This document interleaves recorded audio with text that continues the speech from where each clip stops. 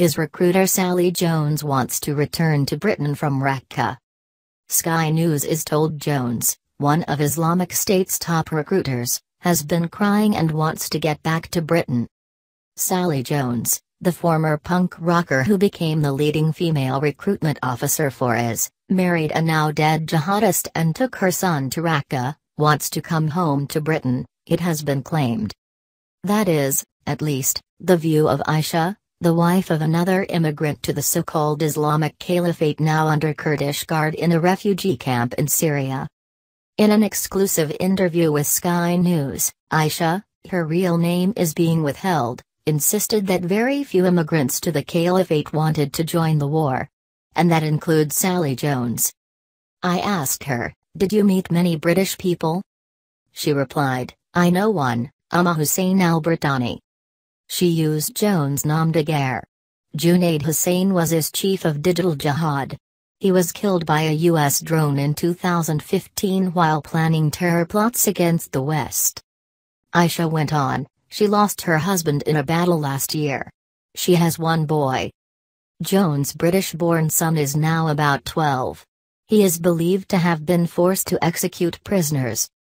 This does not appear to have registered with Aisha, who said that Jones was about 50 years and she's very cute. And then the remarkable assertion that Jones, a woman the international coalition dropping bombs on is, also known as ISIS, would gladly see in their sights, wants to go back to the UK. She was crying and wants to get back to Britain but ISIS IS preventing her because she is now a military wife. She told me she wished to go to her country, Aisha said. This, of course, is a ludicrous claim, unless Jones has given up on her jihadi campaign and is now prepared to swap martyrdom for a lifetime in prison. Even that is a forlorn hope.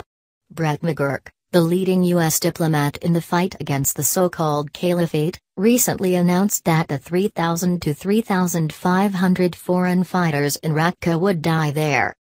Aisha revealed that her Moroccan husband had traveled to IS before the caliphate was even declared by Abu Bakr al-Baghdadi in June 2014.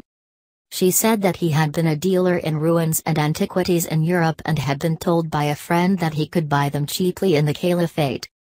The extremist regime drew heavily for funding on the sale of stolen antiquities and taxed criminal gangs who omitted the landscape under its control with illegal digs. Knowing Jones put Aisha close to the very center of power in the now smashed caliphate. Its leaders are mostly on the run to the southern desert in Syria while others have chosen to try to infiltrate Europe. Aisha insisted she was not among the violent supporters of IS. But when I told her my adult daughter has a boyfriend, she said, if she was my daughter I would cut her throat. Then added, I'm only joking. One can only hope so, hope so.